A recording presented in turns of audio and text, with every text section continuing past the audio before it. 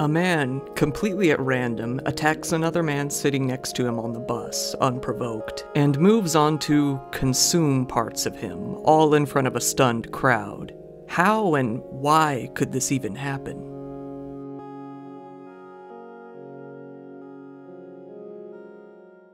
I just want to take a minute to talk about the sponsor of today's video, Endel. Endel is a soundscape app backed by neuroscience patented technology that creates personalized audio experiences. It generates sounds that are designed to help your performance or to even just help you relax and focus. Let's say that you're suffering from stress and anxiety and you're having a little bit of trouble being productive. Endel can help calm your mind to create feelings of comfort and security. Endel can even boost your performance by helping you concentrate for long periods of time, helping you to really get into that flow state and shut out all that other noise. Maybe you're having trouble sleeping, or you're feeling tired, or your sleeping quality just isn't good enough. Easy. Just head over to the sleep section and find a soundscape that really clicks with you. Or maybe in the end, you really just need help finding that mental clarity to be more productive or creative. Endel can definitely back you up on that one. You can even bring up more specific scenarios and generate sounds helpful for those certain situations, like reading, doing chores, working out, studying, and more. I'm the kind of person who always has to have some kind of noise playing in the background, whether it's music, or a podcast, or some show I've seen a million times, or even just an air conditioner. Endel really helps scratch that itch for me. It always has just the right sort of sound for just the right vibe. It's really easy to open up, get right to the point, and get listening and I think you'll be impressed with the results. The first 100 people to download Endel by clicking the link in the description below will get a free week of audio experiences, so go ahead and check it out, you got nothing to lose. Timothy Richard McLean Jr. was a man who was living his best life. Born in 1985 in Manitoba, he was 22 years old at the time of today's incident. Tim, as everyone called him, was working as a carnival worker in Alberta, more specifically a carnival barker, which was honestly something I had to look up. I guess that's the guy who tries to gain the attention of passerbys and get them to come to the carnival, like a hype man. He was just doing his best to bring in the money and support his child. He would travel around a lot with his work. In the summer of 2008, he hopped on a Greyhound bus headed towards Winnipeg on the Yellow Highway. Hoping to kind of get some peace and quiet and just sleep the trip away, he headed to the back of the bus. He put on his headphones, got comfortable, and tried to drown it all out and just get some rest. But that was when another man got onto the bus as well, a man named Vince Li. Vince Li was an immigrant to Canada from China. He graduated from the Wuhan Institute of Technology in the early 90s with a degree in computing. Not a bad degree to have. After working in that field for a while, he gave it all up and moved to Canada in 2001, becoming a citizen in 2006. It seems that he felt more or less completely Canadian at this point, going by a more traditional name you'd find in an English country and speaking mainly only English. However, not all was good with Vince, not at all. In 2004, he was actually hospitalized after what has been vaguely called a run in with the Ontario Provincial Police. He stopped working in his field of computing and his jobs became more erratic. In 2006, he abruptly left his wife back alone at home in Winnipeg and moved to Edmonton, although she later went out and joined him. He worked at Walmart for a while until he was fired after a, quote, disagreement with some of the other employees. Then he worked at some fast food restaurants and finally started delivering newspapers. Both his mental health and his career were in a downward spiral. He was not doing well, but he himself didn't realize that. To add to that, to others he appeared very normal, even being called reliable, hardworking, dependable, and free of trouble. That was going to change. Tired of delivering papers, he decided to hop on a bus to Winnipeg and take a job interview over there. Although he appeared normal to those around him, the thoughts in his head were very different. I began to hear voices that normal people do not hear. I thought I heard the voice of God telling me to write down my journey. The voice told me that I was the third story of the Bible, that I was like the second coming of Jesus. I was to save people from a space alien attack. That is why I traveled around the country. I'm not sure of all the places I went to. At around noon on July 28, 2008, Vince boarded the Greyhound bus headed for Winnipeg. He was on there for over a day when, the next day at 6 p.m., he got off in Erickson, Manitoba with three bags. For unknown reasons, he decided to sleep on a bench near a grocery store for the night. However, witnesses said he wasn't sleeping. In fact, he was seen at 3 a.m., sitting straight up, stiff, with his eyes wide open. The next morning, he sold his brand new laptop to a random 15 year old boy he saw for only $60. Then, when the next bus came by, he got on. Passengers saw the tall man with a buzz cut and dark sunglasses moving down the aisle. He sat down toward the front of the bus, but as the bus moved on and came to a rest stop, he moved back toward the back of the bus and sat down next to Tim McLean. Vince sat down next to Tim, smiled, and asked, How are you doing? seeming friendly enough. Little did everyone know, he was hearing the voice of God in his head. That voice told him, Kill the man, or die immediately. Tim, likely half asleep, barely gave Vince a word in return before he put his headphones back on and leaned back against the window. The bus began to move, and all seemed normal. Tim was sleeping quietly with his head leaned up against the window, uh, not really anything going on.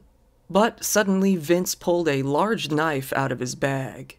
He then started to stab Tim, rapidly, all over his chest and his neck. The bus naturally flew into a panic, and the driver pulled along the side of the highway and stopped the vehicle. Witnesses said that Vince was oddly emotionless and oblivious to everyone around him while attacking. They were shocked by how calm he really was. There was no rage or anything. He was like a robot stabbing the guy, said one of the passengers. Vince himself later said, I was really scared. I remember cutting off his head. I believed he was an alien. The voices told me to kill him, that he would kill me or others. The bus driver and a few brave passengers helped to rush all of the other passengers out of the bus. The driver and two of the passengers tried to save Tim, but Vince chased them away with the knife whenever they got close told everybody to get off the bus. Everybody started to get off the bus. Uh, the guy stepped, kill, step, or still kept stabbing him, stabbing him. Uh, everybody got off the bus. Me and a trucker that stopped, and the Greyhound driver uh, ran up to the door to, to maybe see if the, the guy was still alive or we could help or something like that. And when we all got up, we seen that the guy was cutting off the guy's head. Uh, he was cutting off the guy's head there, and he saw us. He, he came back to the front of the bus, told the driver to shut the door. Uh, he pressed the button and the door shut, but it didn't shut in time, and the guy was able to get his knife out and take a swipe at us, so we backed off the door. And uh, I ran around the backside of the bus, the bus driver took off, and then we both returned to the front to see what had happened, and he, he hadn't gotten off the bus. The door was still open. Um, we shut the bus door that time and shut it. Being a narrow bus, there wasn't really much of a way to get around him or ambush him from any other side. The driver immobilized the bus so that it couldn't be taken over, and they hopped out, locking the doors behind them. Vince never stopped stabbing and cutting, eventually moving on to removing Tim's head completely. He then stood up, walked over to the windows, and held up the head for everyone standing outside of the bus to see. Uh, it was at that point that he came, started walking to the front of the bus, and he had a, the, the head in his hand, and he just looked at us like this and dropped it on the ground. Totally calm. Um, Many of them went into shock at this point, some even started throwing up on the spot. Then Vince returned to the body, and this is when he began to savagely consume parts of it. Shortly after the attack began, the Royal Canadian Mounted Police in Portage la Prairie received a report that a man had been stabbed on a bus just west of the city. 40 Alpha 8, Badger is armed with a knife and a pair of scissors, and he's defiling the body at the front of the bus as we speak. They took off down the highway and shortly came across the bus. They were not prepared for what they were about to see. They saw that the attacker was still on board with the victim, locked in as everyone else stood outside in shock and disbelief. A passenger and the driver were standing outside the bus, armed with a crowbar and a hammer ready to attack him if he got out. The three of us had uh, weapons from the, the, truck, the trucker's truck there, and we just stayed outside while he tried to get out the door. Uh, telling him, "No, stay put, stay put, stay there. Don't don't try to come out." Uh, it was at that point I think that the police showed up and uh, kicked us off, got us to the back, the end of the bus there. Uh, some people were puking, some people were uh, crying, people were in shock. Were people running? Were they screaming? yeah, everybody was running, screaming off the bus. All of the other passengers were huddled together on the side of the road, most in shock, but some were sobbing and vomiting. It was now 9 p.m., and the RCMP had called in some negotiators to help deal with the problem. Vince tried to escape by driving the bus, not knowing that it had been disabled. He was left with nowhere to run. Vince was still on the bus, locked in, but armed and visibly very insane. He was pacing back and forth and then started to eat more of the body as the police looked on in horror. While transporting the stranded passengers away from the scene, Vince shouted out, I have to stay on this bus forever. The standoff lasted all the way up until 1:30 a.m. This was when Vince decided that he'd get off the bus and make a break for it by busting a window and hopping out. He shattered one of the windows, then threw his knife and a pair of scissors out ahead of him. Then he jumped out himself. The RCMP jumped on him and arrested him soon after. In the scuffle, he was tased twice. Soon enough, he was in handcuffs, thrown into the back of a police car. Tim's body was then retrieved from the bus, or at least most of it was. His ear, nose, and tongue were found in Vince's pockets. His eyes and his heart were never found. It was assumed that Vince completely devoured them. The bus was now an active crime scene, so there was no going back to it. At 10 a.m. the next morning, Greyhound representatives took the remaining passengers from the bus to go buy some clothes to replace what they had left behind on the bus. They safely arrived in Winnipeg that day around 3 p.m., likely traumatized for life. Within a week of the incident, Greyhound Canada had to pull a lot of new nationwide advertisements that they had released, which used the slogan, There's a reason you've never heard of bus rage. It, uh, didn't seem to be in the best taste anymore. The incident also led to a surge of public outcry demanding stricter security on buses. All was quiet when it came to Vince Li himself for a while. He was charged with second degree murder and appeared in court, although very briefly, where the only words he spoke out loud were, Please kill me. He refused legal help. However, he was forced to undergo a psychiatric examination. Then, five months after the attack in December, Tim McLean's new son was born, fated to never meet his father. Fast forward a year to 2009, Vince Li's trial finally started in March. He pled not guilty due to being not criminally responsible due to a severe mental disorder, meaning that he does agree that the incident did occur, but he didn't meet the mental standards to understand the gravity of what he was doing. The psychiatrist who performed his examination stated that he performed the attack because he believed to be hearing the voice of God. The voice told him, Destroy the demon sitting behind you, or you will be killed yourself. The judge presiding over the case accepted the diagnosis and agreed that Vince was not criminally responsible for the murder. He had a very nasty case of untreated schizophrenia, which he did not know at the time. He may have been mentally incapable of even realizing that there was a problem. Vince was then taken away to Selkirk Mental Health Center. It wasn't long before Vince started to be allowed supervised walks outside the facility. It was only about a year, in fact. After that supervised attention outside of the facility for about another year, in May of 2011, his doctors and psychiatrists decided that he was responding pretty well to his medication. They recommended that he gradually receive more freedoms over the coming months. One more year passed, and Vince started to gain temporary passes that would allow him to leave the health center and go into town, supervised by a nurse and a peace officer. It was around this time that he spoke out for the first time about the attacks, saying that, at the time, he believed the voice of God was telling him to help save people from an alien attack. He believed that Tim was one of those aliens. Then, two years later, in 2014, Vince started to be allowed to go out completely on his own on unsupervised trips to town, first starting at 30 minutes and then gradually increasing to full day trips over time. Not all was well, though, by any means. People were still feeling the ramifications of the murder. That July, one of the first officers to respond to the scene, Ken Barker of the RCMP, ended his own life after a long battle with PTSD surrounding the incident. This once again riled up the public and reminded them of the weight of what exactly Vince had done, making this next bit sting even more.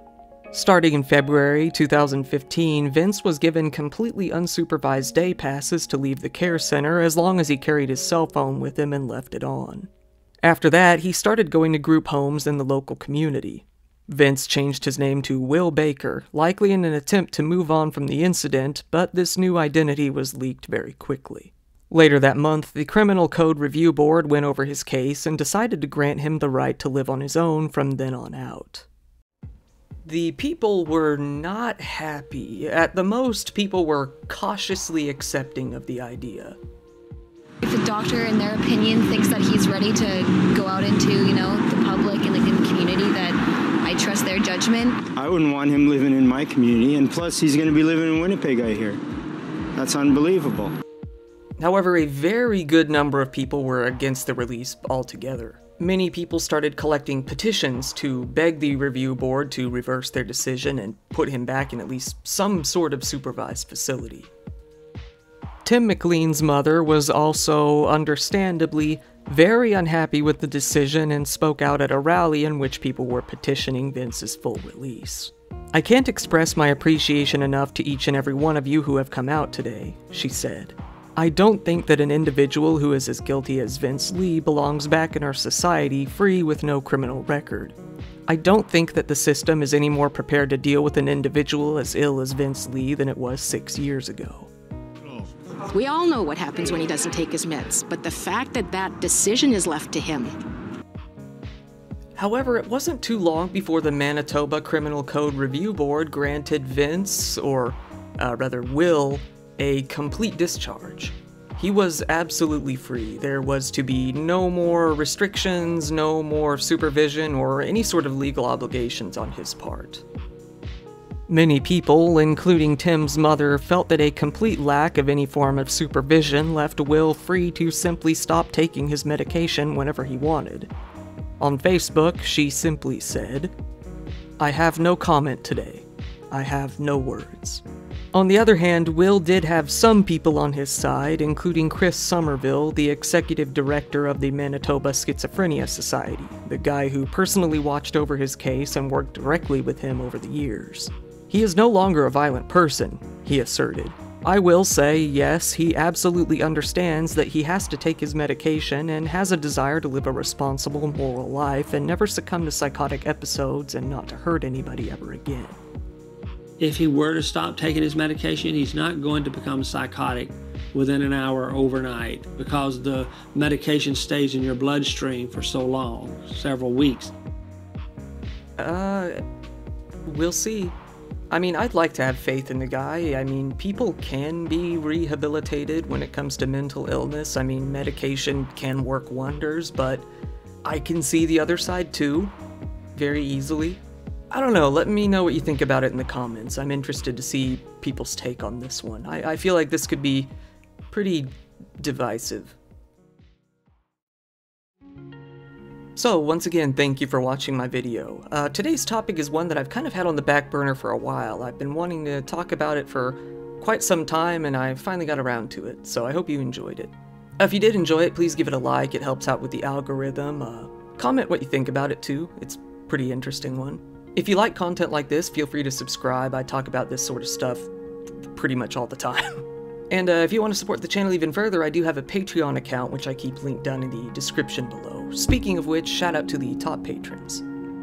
So we've got Kevin E. Ead, AMCMT, Work in Progress USA, Tang, Sass Johnson, Marianne McCurdy, Buttery Frankus, Wafrans, Jules Latona, Arctic Cat, Alan Damiani, Adrian Lawley, Marsh, Buffa Zerk, Rinsenstein, Kim Peak, Lux Alpaca, Charity, Skooky Maine, Jackie, Teresa Ferguson, and Mark Barnett.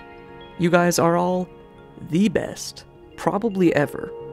Thank you, and good night.